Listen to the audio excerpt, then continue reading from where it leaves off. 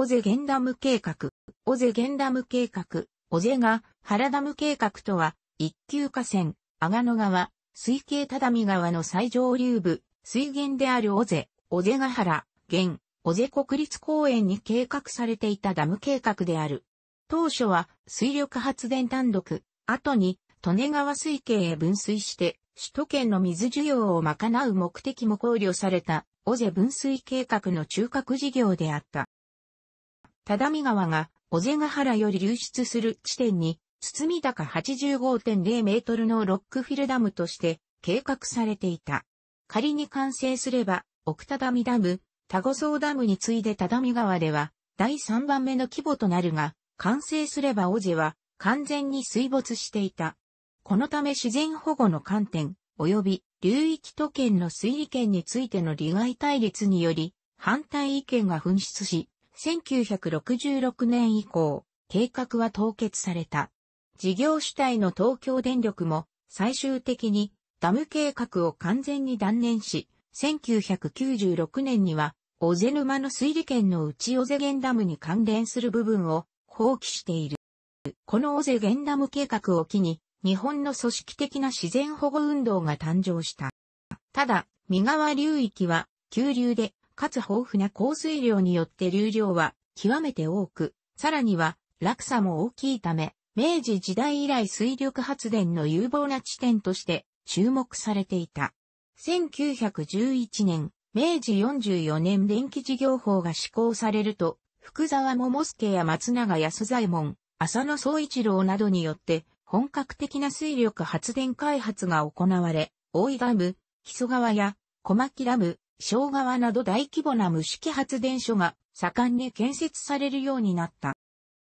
当時関東地方において水力発電を推進していた関東水電株式会社は、こうした風潮の中で豊富な水量と高落差を有する尾瀬に着目、ここにダムを建設して水力発電を行おうと考えていた。そして1919年、大正8年、尾瀬沼にダムを建設するために、水利権を獲得すべく河川管理者である群馬県知事に対して水利権の申請を行った。当時は旧河川法の規定で河川管理は原則都道府県知事が行うものと定められていたため、知事への申請となった。電源開発は富国強兵の理念にかなっており、当時工業生産が盛んになりつつあった日本経済を牽引するために必要不可欠であった。このことから、同次元内閣の内務大臣であった常波武次郎は、群馬県に対し関東水田の水利権申請を認めるように強力に推進した。内務省は地方自治を統括する官庁であり、かつ河川管理においても河川改修を直轄で実施するなど、両方の立場からこの問題に対する関係が深かった。こうした内務省の強力な講演もあり、1921年、大正10年に関東水田は小瀬沼の水利権を獲得した。その後、電力業界の合併が進み、水利権は東京電灯が所有するようになった。昭和に入ると戦時体制の進行に伴え、化学工業を中心にさらなる産業育成が求められ、これに伴い電力供給が不可欠となった。電力行政を管轄していた帝新省は全国の河川において1937年、昭和12年より1941年、昭和16年までの約4年間、第3次発電水力調査を実施した。この調査では、当時の内務省土木試験所長で、ダム技術の第一人者であった、東京帝国大学教授、物部長が、下水を総合的に利用するため水系を一貫して開発し、産業振興を図る目的で提唱た、下水統制計画案も参考としており、この中で尾瀬源ダム計画は、只見川の一ダム計画から利根川、信濃川という日本の二大河川を巻き込んだ大規模な開発計画へと変わっていった。1919年に関東水田が計画していた原案は、尾瀬沼と尾瀬ヶ原出口の2カ所にダムを建設、貯水した水を利根川水系に送水するというものであった。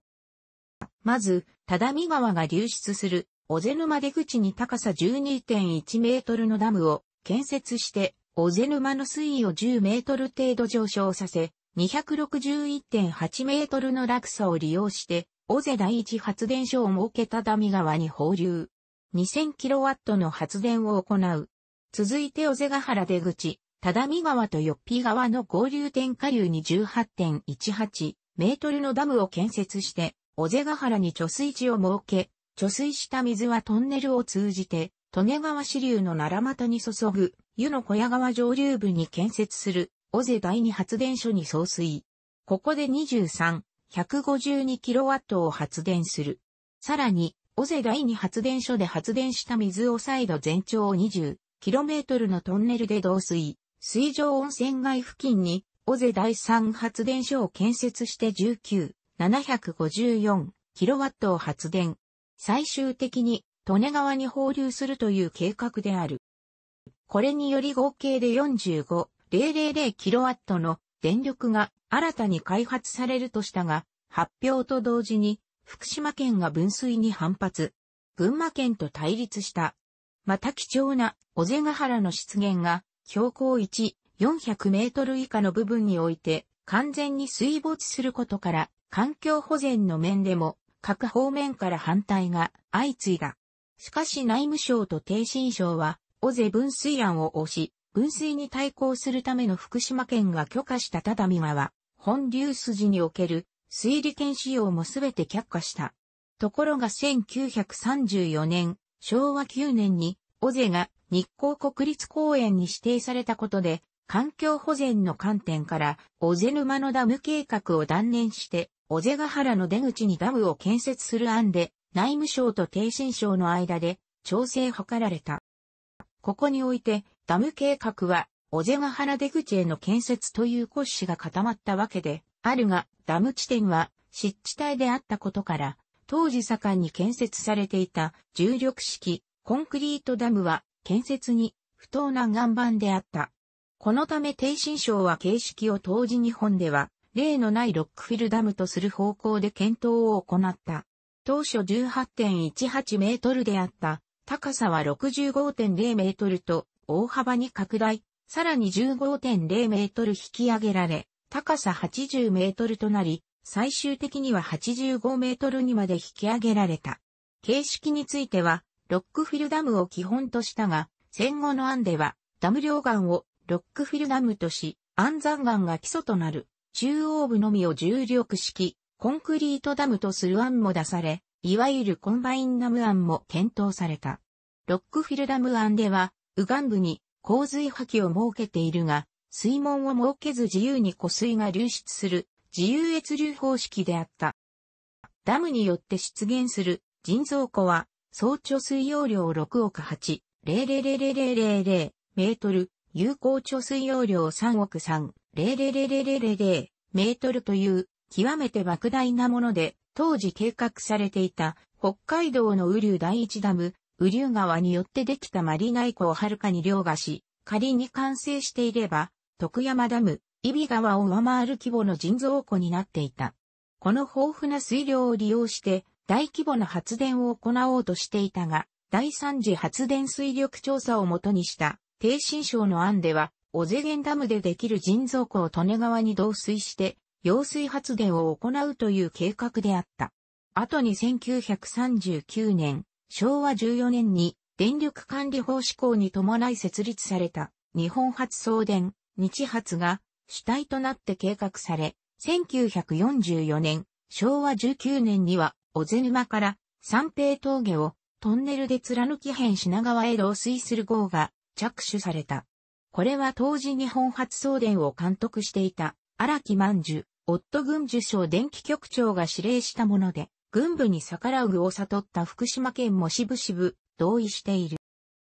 尾瀬源ダム及び尾瀬分水については1948年、昭和23年に、帝信省より、電力関連行政を継承した、商工省により設立された、尾瀬源、利根川、只見川総合開発調査審議会において、最終的な定めを見るが、同時期只見川の大規模な水力発電計画を調査していた日本初送電東北支店が1947年、昭和22年に、只見川筋水力開発調査概要を発表し、低新省案とは異なる尾瀬源ダム計画を計画した。これは後に審議会で、只見川本流案として提示され、低新省案は、尾瀬分水案として両者は比較されることになる。1939年、群馬県は利根川の豊富な水量を治水と水力発電に利用するために、利根川下水統制計画を策定した。この中で、群馬県は、利根川本川にダムを2カ所建設する計画を立てた。すなわち、奈良俣地点に高さ130メートル、幸い地地点に高さ52メートルのダムを建設して、治水と発電を行おうとしたが、その後低新省案に参加する形で統合された。小瀬源ダムを利用して利根川へ湖水を落とし、認可出力 364,000kW の揚水発電を行う計画とした。揚水発電は1934年4月に野地事故を利用した池尻川発電所が運転を開始していたが、日本では本格的かつ国内最大の揚水式水力発電所となり、当時としてはアメリカのフーバーダムに次ぐ規模の大規模水力発電であった。この計画では、小瀬源ダムの他に、利根川最上流部の湯の花温泉付近にダムを建設し、両地点を連携した揚水発電によって364,000 kW を発電する。この時に選定された利根川のダム計画は、後に首都圏の水亀となる焼沢ダムの原点である。この時点では、包み高103メートル、有効貯水容量1億300万トンの規模で、これに伴い、奈良俣地点のダム計画が大幅に縮小、幸い地地点のダム計画は一旦消滅した。発電所については、合計8カ所を計画し、その根幹として、尾瀬第一発電所と尾瀬第二発電所を建設することで、合計677、000kW の認可出力を発電する予定であった。この尾瀬第一発電所は、尾瀬源ダム地点に、尾瀬第二発電所は、焼沢ダム地点に建設し、トンネルで両者を結んで、揚水発電を行う。このほか片品川へ、尾瀬沼より導水して、発電を行うほか、利根川筋に、水路式発電所を建設して、首都圏への電力需要を賄おうとしたのである。1944年着手された片品川へ導水する施設については途中戦争による中断を経て1949年、昭和24年に完成している。利根川開発案での水力発電計画は次の通りである。なお、小瀬源ダムを建設しない場合の案もあるがこれは割愛する。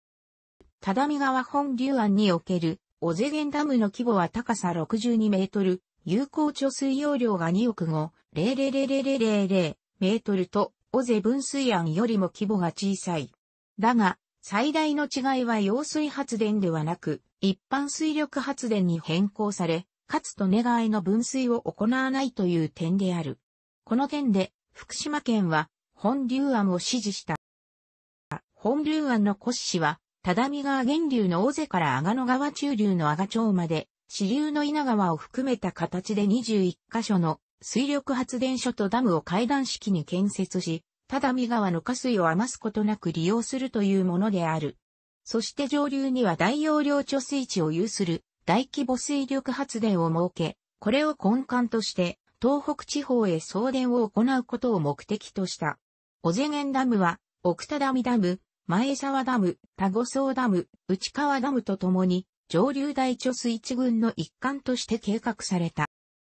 戦後、経済安定本部によって1947年に、尾瀬源、利根川、只見川総合開発計画が策定され、尾瀬源ダム計画は本格的に国策として推進された。だが、利根川への分水をめぐって、只見川本流案を策定した非発東北支社及び、これを支持する福島県と尾瀬分水案を策定した非発関東支社及び、これを支持する群馬県が対立した。最大の問題は、水利権問題である。すでに、尾瀬沼の水利権は、関東水田の流れを組む非発関東支社が保有していたが、只見川、阿賀野川の観光水利権を保有する福島県が、利根川への分水に強行反発した。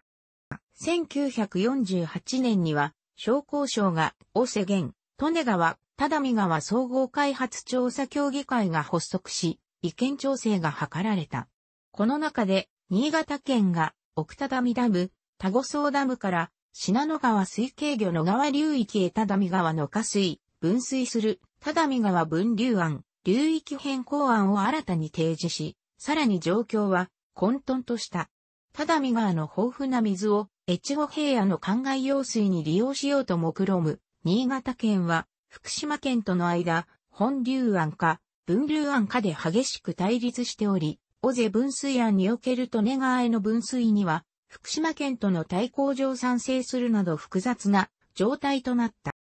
尾瀬源ダム計画を戦後日本復興の用と位置づけていた商工省や経済安定本部は、只見川分流案を施行法や費用の面で計画に疑問が残るとして再検討を行う一方、利根川案と只見川案の両立を図るために理想案を新たに提示した。これは小瀬源ダムの規模を大幅に拡大し包み高100メートル、有効貯水容量7億に、00000メートルとして利根川、片品川、只見川の3カ所に揚水発電所を建設、焼木沢ダムの他只見川の赤岩地点と、奈良又川、片品川に2カ所のダムを建設して、冬季の平均総出力を45万キロワットとする計画である。この時点で3通りのダム案が出揃ったわけである。1950年、昭和25年、第3次、吉田内閣は、国土総合開発法を施行し、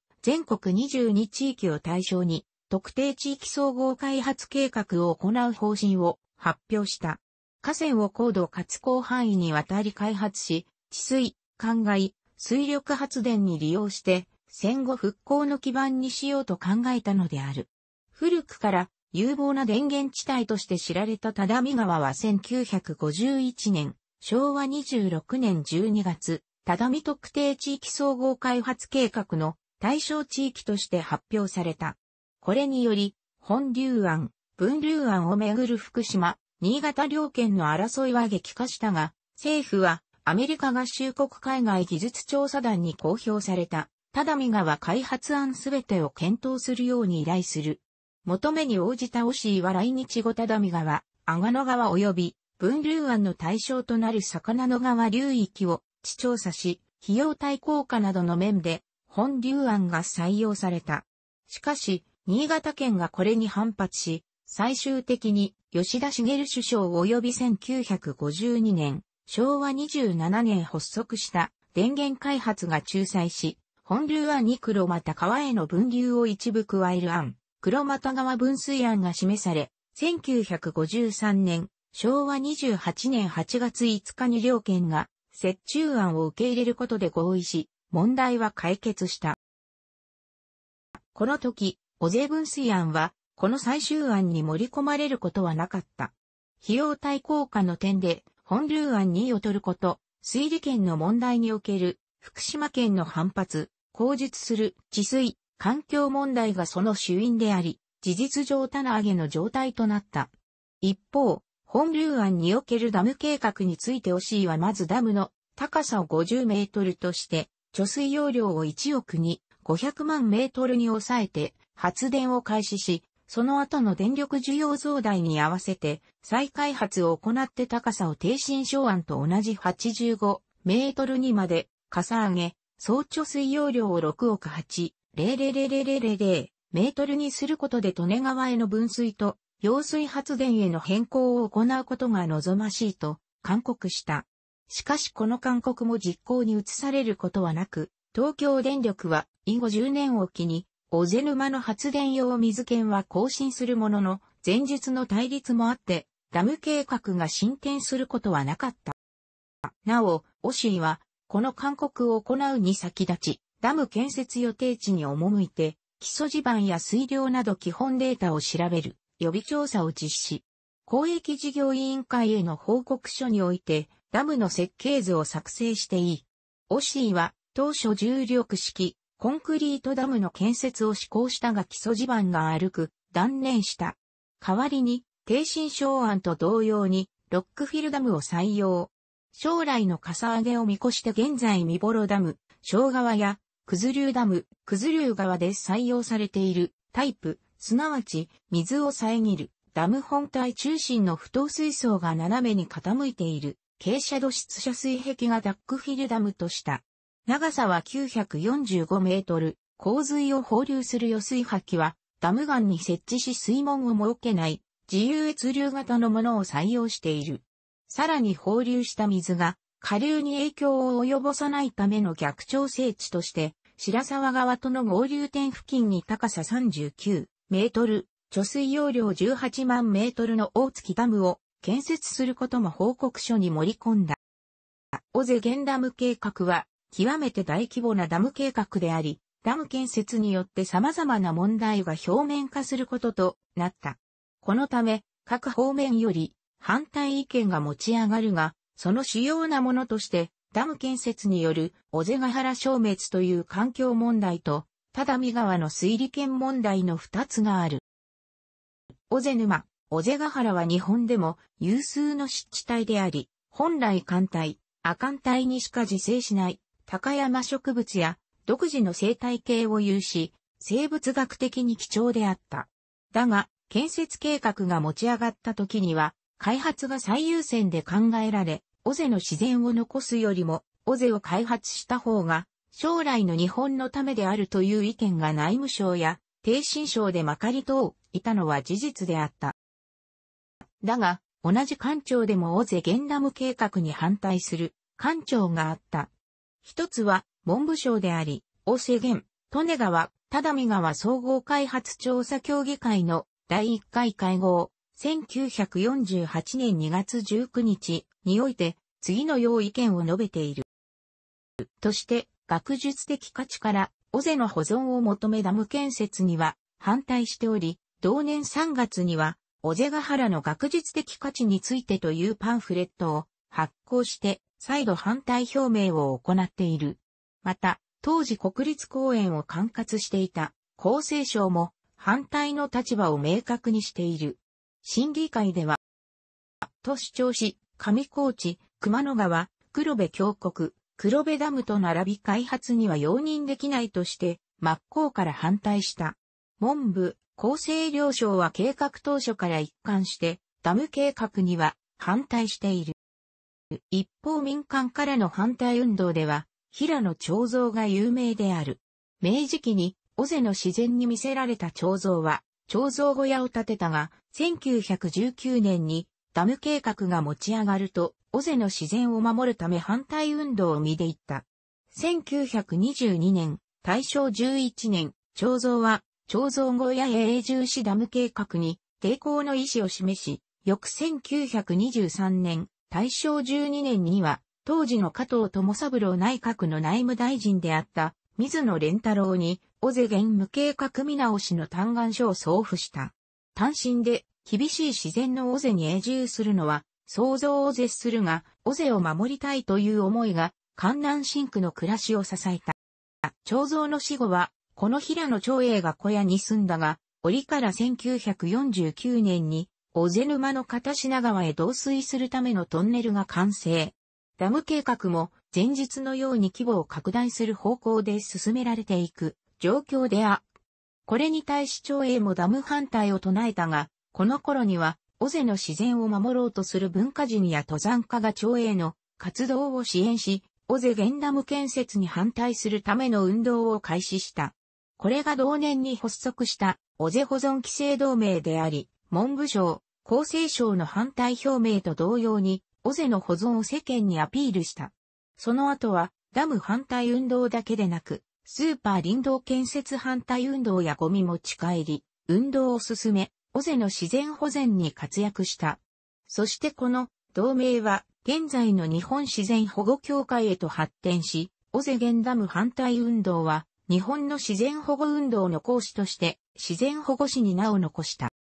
こうした自然保護運動は、尾瀬の環境保護行政に拍車をかけ、1953年には国立公園特別保護地域に指定され、1956年、昭和31年には天然記念物に続く1960年、昭和35年には特別天然記念物に指定された。こうした流れに東京電力は1964年、昭和39年に管理する尾瀬の森林を水源環用林に指定して伐採を原則禁止とし、さらに1966年、昭和41年3月には、尾瀬源ダム計画を事実上凍結し、ダムによらない形で、利根川水系に発電用の導水を行う方向に、事業を大幅縮小した。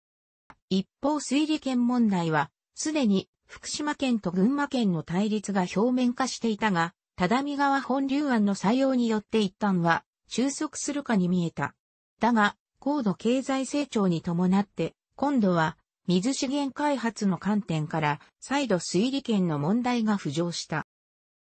利根川開発案は1949年に利根川海底改修計画の策定に伴い、ダム事業は建設省の管轄となって分割され、水利権問題に加えてこれも要因となって、尾瀬源ダム計画は棚上げされた。だが、首都圏の水需要が逼迫するにつれて、次第に尾瀬源ダムを水資源に利用しようという動きが、利根川を水源とする東京都をはじめ、関東各県に広がり、尾瀬水利対策規制同盟会が、東京都をはじめ、埼玉県、千葉県、茨城県、栃木県、群馬県の1と5県によって結成された。当時は、利根川水系に9カ所のダムを建設する計画、後の利根川水系8ダム計画が進められ、沼田ダム計画などの大規模多目的ダムが計画されていた。この水資源開発に小瀬沼ダムを利用しようという動きは次第に高まった。すなわち、小瀬源ダムの貯水を利根川へ導水し、上水道、工業用水道といった新規利水を確保しようとする目論みである。1953年には、一都五県利根川治水促進大会が開かれ、この中で、沼田ダム建設促進とともに沼田ダムとの連携を図るための大勢源ダム建設促進も要求した。だが、豊富な水量を有する只見川は、水力発電だけでなく、新潟平野をはじめとする国葬地帯を潤す貴重な水であり、福島県としても断固として譲れないものであった。